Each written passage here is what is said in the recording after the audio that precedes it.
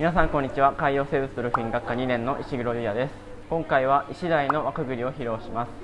輪くぐりはこういった輪を使ってこの中を石鯛が輪をくぐってくれるという技です。今回は3回連続でくぐれるようにトレーニングしたのでぜひご覧ください。それでは輪くぐりを披露していきます。まずは水槽の中に輪っかを入れこの輪っかの中を3回連続でくぐれたら OK だよという合図でライトを当てそして餌を与えます。こういった過程で輪くぐりをしていきます。